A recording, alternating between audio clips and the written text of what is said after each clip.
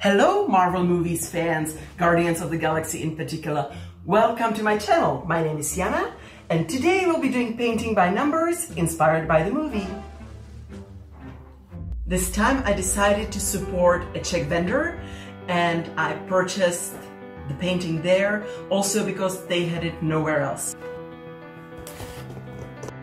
Maluješ means you paint and milujeme malování podle čísel means we love painting by numbers. So let's see what they have for us. I must say it's much better wrapped than all the paintings I ever got from AliExpress. And the canvas looks very solid.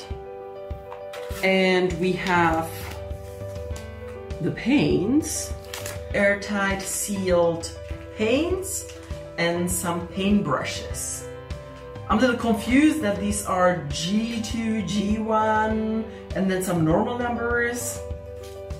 Let's hope it's gonna be fine. This is the invoice for it, but what I'm surprised is that there's no cheat sheet. You know the piece of paper where you can see the same painting and you can have it as a reference as what numbers are where? Maybe it's somewhere in the canvas? Nope. It's not here. All right. We'll have to deal with it.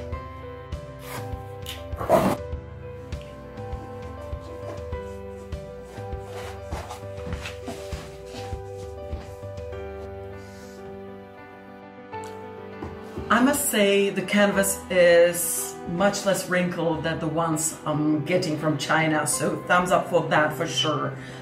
What I'm a little surprised is that there are lots and lots of the same symbols. You can see the G ones are here all over the place for no good reason and it just adds something that will be visible in the final painting for no particular reason and it's really really gray not black so seeing all the small details will be a little tricky. And without the sheet, cheat sheet I'm screwed.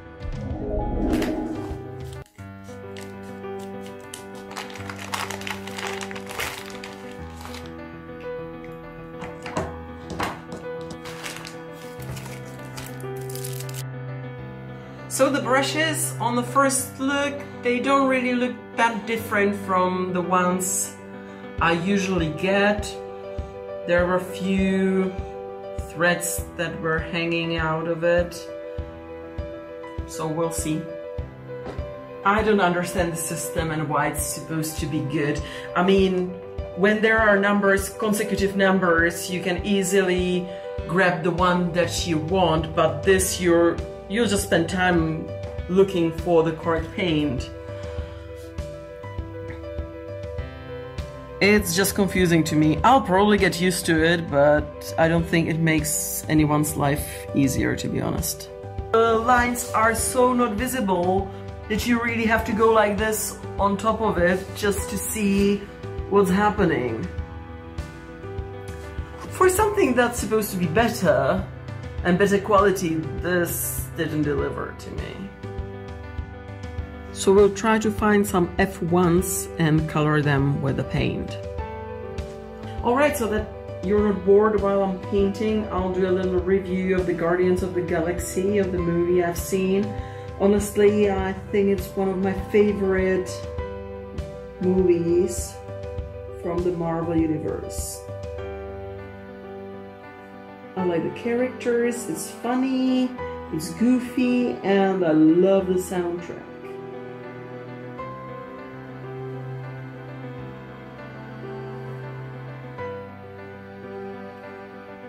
My, one of my favorite characters is obviously the tree Groot. And the painting is Baby Groot from the second movie. When I first saw the movie, I was like, oh, it's another superhero thing. with unrelatable characters that are all the same and interchangeable. But surprisingly, I really fell in love with this one. It, I like when movies and even people can find in themselves to make fun of themselves, you know, like just not take the life and everything they're doing too serious. It always makes it more interesting for me and funny. I like when things are funny.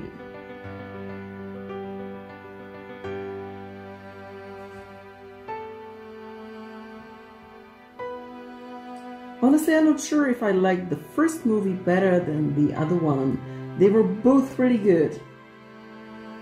Usually they make the second movie just to squeeze more money from the franchise, but honestly, loved the second one as much as the first one, if not more.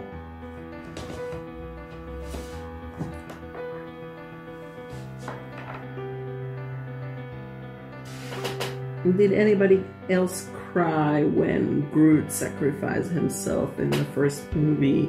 Oh yeah, spoiler alerts. I kind of forgot to say that, but since the movie is what, seven years old by now? I think it's definitely a movie you should see in the cinema because like the tricks, all the Marvel movies seemed to be made for cinema in particular and you lose part of the experience if you just watch it on TV.